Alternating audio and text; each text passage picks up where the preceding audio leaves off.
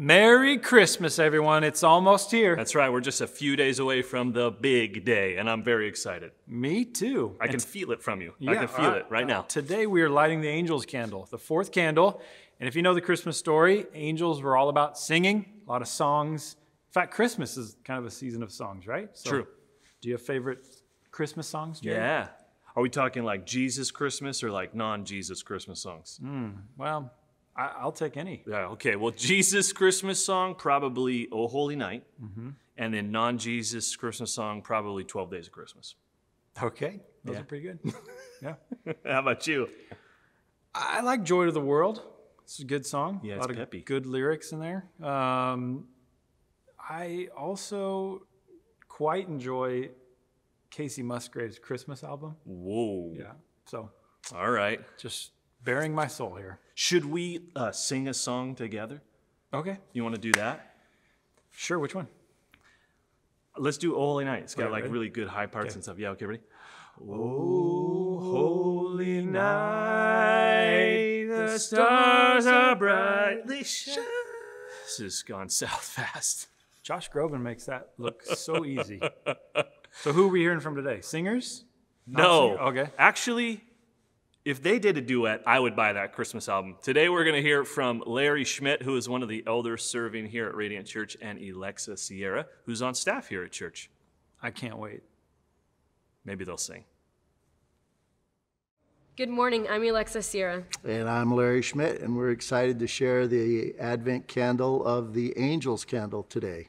As we light the angel's candle, we're going to focus on the miraculous and supernatural birth of Jesus, that this was a birth like no other.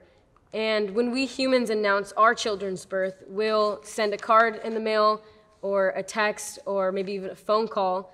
But when the Lord decided to announce the birth of Jesus, he sent multitudes of heavenly hosts of angels in the sky to announce to the shepherds that Jesus was to come.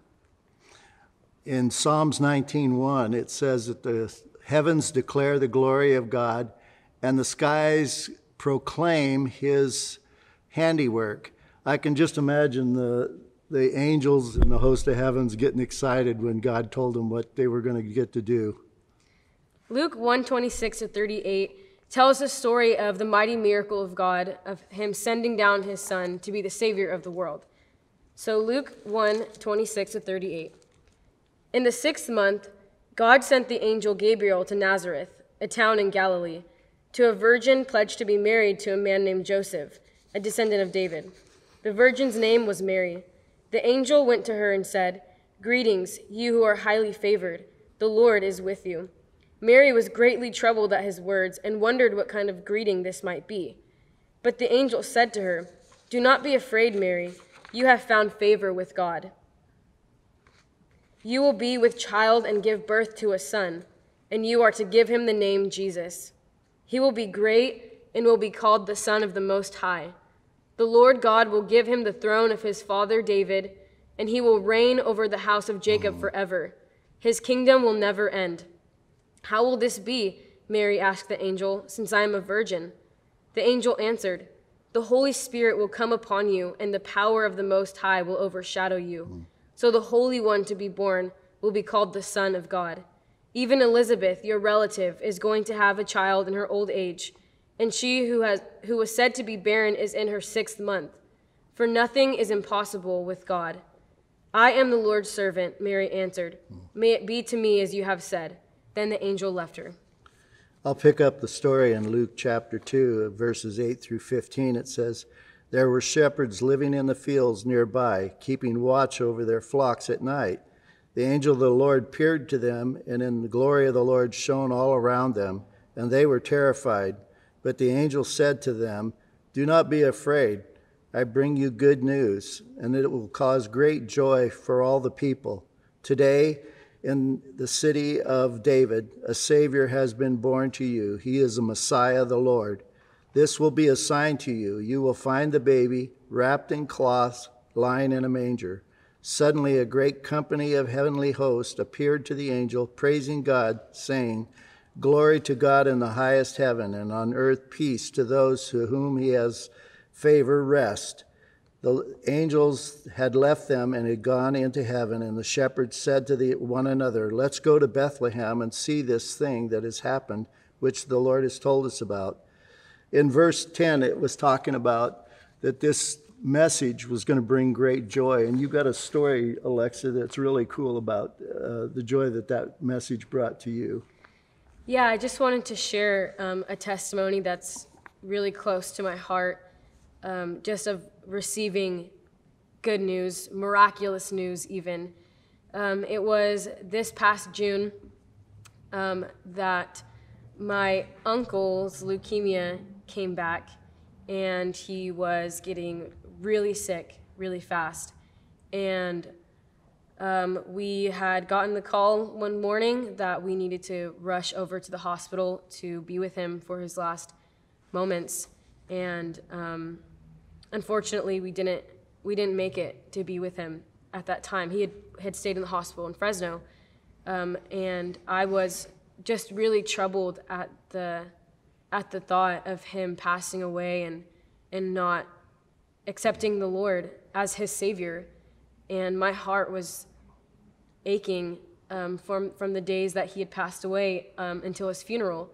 And at his funeral, I had met his half sister, who I have never, I'm not related to her, we've never met before.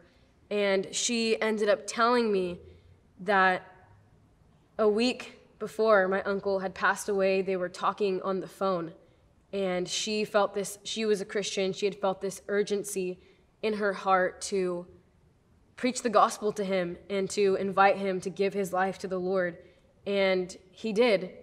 He said yes to Christ, and the Lord has told me that He's with him, and it was it was indeed news that brought such great joy and relief to my heart. I'm sure, like just like the shepherds, when they heard that a Savior had come into the world, the long-awaited Messiah had finally come. Just the relief that came to their hearts, and I got to experience that when I heard the words that my uncle was with was with my Lord in heaven and mm. his Lord too. And I just wanted to encourage you, you who's watching, that you would keep contending for your families and for your own lives, uh, just for the faithfulness of God, yeah. that you would keep waiting because it will come, just like our Lord. He did yeah. come and He did not delay, and your miracle will come. Yeah. Let's pray. Lord, I just thank you for the way that you brought your son into the world, that it was uh, to the lowly. You announced it to the shepherds, and you use the host of heaven to do that, Lord, and that you're still doing that today. You're still wanting to reveal yourself through angels, through dreams. And we just pray that for each of these people that are watching today and just here we just pray, Lord, that you would come in a powerful way and minister to those people that are in their families or friends that they have uh, a heart, a burden to see saved, Lord. Would you come to them in a powerful way and give them the good news? And we just thank you for this time in Jesus' name. Amen. Amen. As we light the angel's candle, will you join us with the declaration on the screen? Jesus, Jesus Christ, is the light of the world, the light no darkness can overcome. Merry Christmas! Radiant Church. It is the week. It is the week of our dear Savior's birth. There is no uh, service this morning, um, but I want to share a few things with you and make a few announcements. The first is that our Christmas Eve service is going to happen right here in the Radiant parking lot. It'll start at 4.30. It'll end at 5.30. It'll start in the light. It'll end in the dark, kind of like 2020. Start with so much promise, vision, and then fade to black. Uh, but we still have reason to sing. We're going to look to and lift up Jesus, who is the light of the world. Our King has come and he will come again. So we'll gather to him here in this parking lot. It's going to be cold. So uh, dress warm, uh, bundle up. Also, I've been asked, um, can we tailgate? And the answer is no. We're going to need every bit of space in this parking lot for people. Uh, there will be hundreds of people gathered in this uh, parking lot. So if you're sick, stay home. Uh, if you feel like just reluctant, nervous, you don't have a clear conscience about gathering uh, with people, we totally understand. And there is no pressure to be with us. We bless you. We hope that you have a really happy holiday with family uh, and friends. And we will see you someday soon. But for those who are saying, yeah, this is something I want to do, then we'll see you at Christmas Eve right here in the parking lot.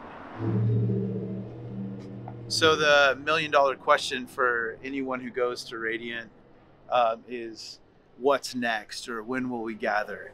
Um, as many of you know, we've been gathering in homes for the last 10 weeks in what we've called house to house. And that season's been a really a huge win for us as a church. Um, I'm celebrating a number of things, but uh, yeah, here's just a few things that come to mind.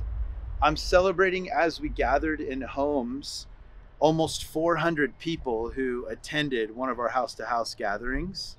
I'm uh, celebrating new people uh, being added, like your neighbors now come to our church. I'm meeting people uh, who tell me I, I don't I don't know them, and they're saying, "Well, I go to Radiant," and they've never been to Radiant. They've never been to the building. They've never been to a service, but they've been to your home. And I'm so excited that somehow in all of this we're adding people to the church. I'm I'm celebrating the participation and the engagement.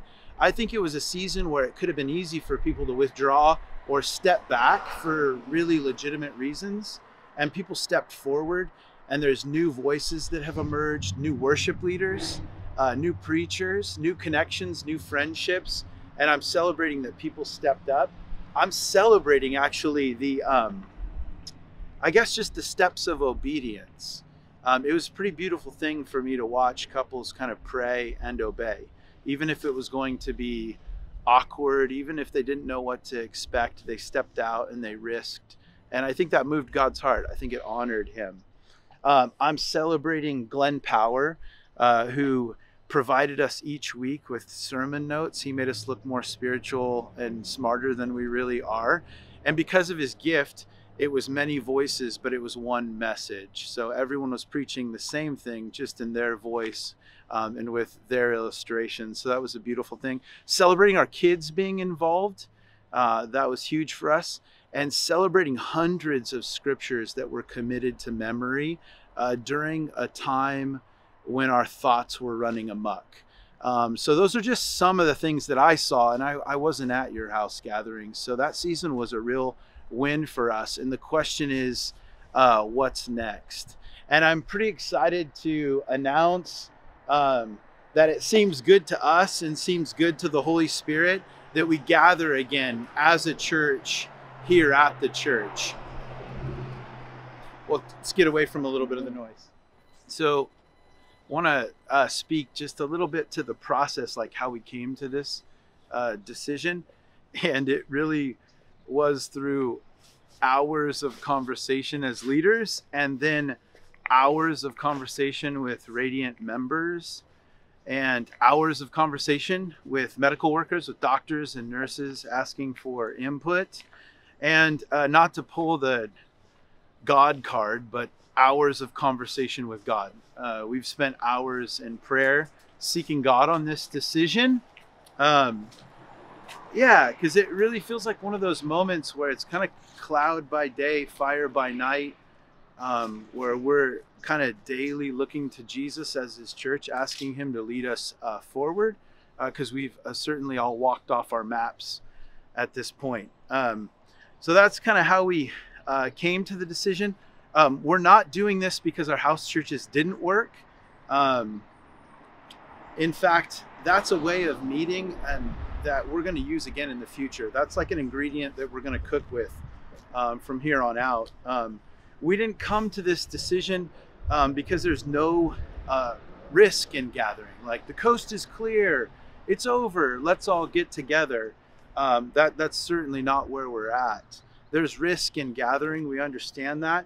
We just feel like the risk of not gathering is greater than the risk of gathering, and that's just where we're at right now. So, obviously, you know, I think a question that comes up for you is what will the services look like when we gather? You've probably gone to one, you know, before COVID. What will it look like after COVID? And here's a few things that we do know. We will get to you with more specifics after the holiday of how a service will look so that you know what to expect. Um, but we do know that the services uh, will be shorter. They'll be about an hour, kind of like our online service. We do know that they're going to be smaller. We have no desire to pack everybody up and in. Um, we do know that our kids uh, will be with us during the service. There will be no kids' work or place to drop off your kids. And I do know with certainty um, that the service will probably not look exactly how you want it to look. I can almost guarantee it. Believe it or not, um, some people don't think the way you think about this. Believe it or not, not everyone feels the way you feel about this. And so just plan on these services not going according uh, to your plan or maybe even my plan, and, and I think we're going to be good. Uh, plan on preferring other people and plan on giving up lesser things uh, in order to lift up Jesus, and I think we're going to be all right. The services may be too short for some, and they may be too long for others. Um, it might be too loose for some, um, it might be too rigid for others. Um, yeah, like I said, not everyone is in the same spot. Some people are more worried than you are, um, and some people are less concerned than you are about this. And so, as we step forward, know that it's going to be a huge blessing, like a huge blessing to see people. Um, and then you will be annoyed by those very same people because church is family. And when we sit down to a meal together, um, not everyone gets a custom order. Yeah. So there's something more important about being uh, together. So um, other other questions I think is uh, what time will the services be, and, and that depends on really um, how many services we have. So we will have between two and four services on a Sunday morning of around 150 people. That's what we feel uh, comfortable with. So depending on the need um, we will have between two and four services, and that will determine the times of the services on a Sunday uh, morning. Um, I think another question that probably is coming up is Will there still be something online for those of us um, who feel uncomfortable? Uh, being together? Is there still something that's going to come out each Sunday? And the answer is yes. We'll still provide something online so that you can stay in step.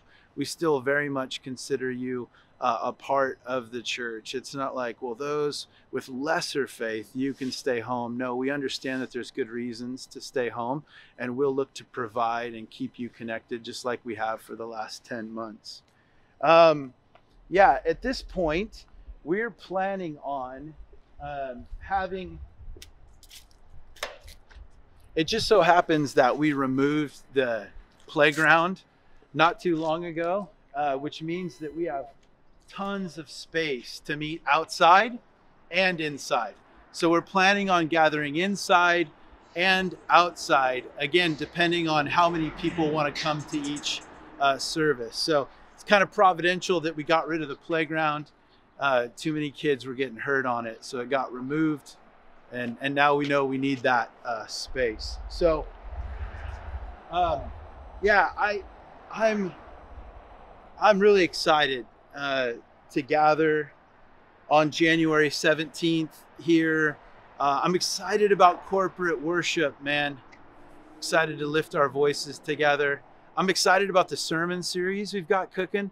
I'm excited to gather and open the Word. I, I don't know about you, but in this time of trouble and hardship, um, the Word of God's just popping off the page. So many things are so relevant. Uh, there's so many directions we could go. I'm so excited about the sermon series. And then I'm just excited about the new year. And I know that 2020, 2021 has trouble.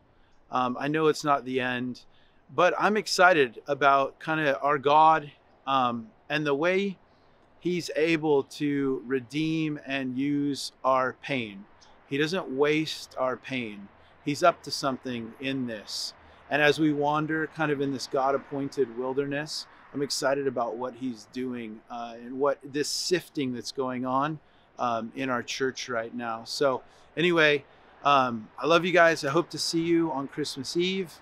Um, if not, hopefully in the new year. Um, and I'll, uh, I, I, yeah, I guess I said that already. I'll see you soon.